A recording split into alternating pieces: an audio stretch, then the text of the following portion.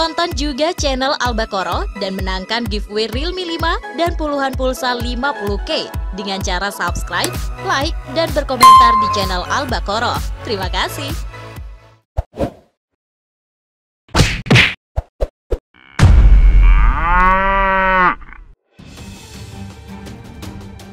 Fakta tentang tank harimau buatan Pindad. Hai, halo kak, jumpa lagi di channel Sapi Betina. Tank adalah salah satu kendaraan perang paling bersejarah di dunia. Setidaknya, dalam setiap perang di dunia, mulai awal 1900-an, tank selalu menjadi tolak ukur apakah sebuah negara sudah siap memenangkan perang atau tidak. Seiring berjalannya waktu, PT Pindad Indonesia berhasil membuat tank yang diberi nama Harimau. Nah, seperti apa sih tank tersebut? Sebelum lanjut, jangan lupa untuk subscribe serta nyalakan tombol loncengnya ya kak, agar kakak menjadi orang pertama yang mengetahui video terbaru dari Sapi Betina. Berikut, fakta tentang tank Harimau versi Sapi Betina.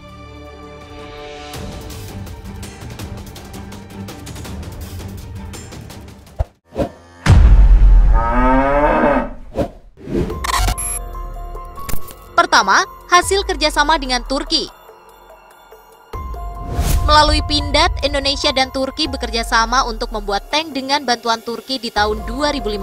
Di tahun 2016, prototipe pertama dibuat di Turki dan siap dikirimkan di Indonesia untuk dikembangkan. Kemudian, di tahun 2017, prototipe terakhir dipamerkan kepada masyarakat. Tank ini kemudian disebut dengan tank harimau karena memiliki warna dominan hitam yang berarti garang layaknya harimau. Di negara Turki, tank harimau memiliki nama lain yakni Kaplan MT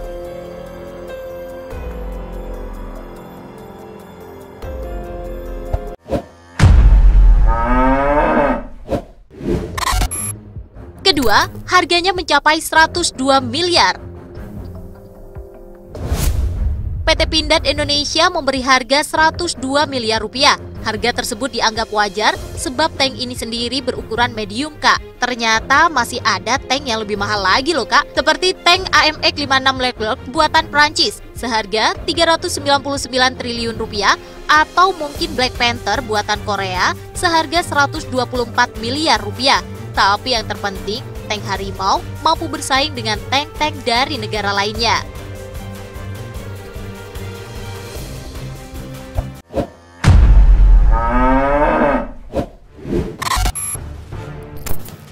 Ketiga, ukurannya medium. Tidak semua tank berkualitas tinggi harus berukuran besar, Kak. Tank medium sekarang menjadi idola di negara-negara besar di dunia. Selain karena lebih ringkas, tank medium ini bisa berjalan dengan cukup cepat dan membuat senjata sangat mematikan. Tank harimau ini termasuk tank medium dengan dilengkapi dua jenis senjata, yaitu meriam dan armor modular senapan mesin. Berat total tank ini adalah 32 ton dengan kecepatan maksimal 76 km per jam.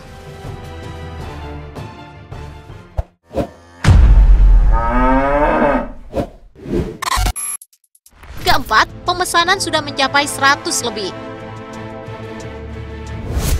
Dengan ukuran yang tidak terlalu besar, tank harimau ini menjadi idola. Menurut Direktur Bisnis Produk Pertahanan Keamanan PT Pindad, Wijayanto mengatakan, salah satu negara ASEAN memesan 44 unit tank harimau, sedangkan salah satu negara ASEAN Selatan memesan sebanyak 120 unit. Kelebihan lain dari tank harimau ini adalah proteksi yang mencapai level 5. Itu berarti tank ini tidak bisa ditembus oleh peluru meriam kecil dan serangan senapan mesin, Kak. Tidak hanya itu, tank harimau ini juga anti dengan reaksi kimia dan juga nuklir.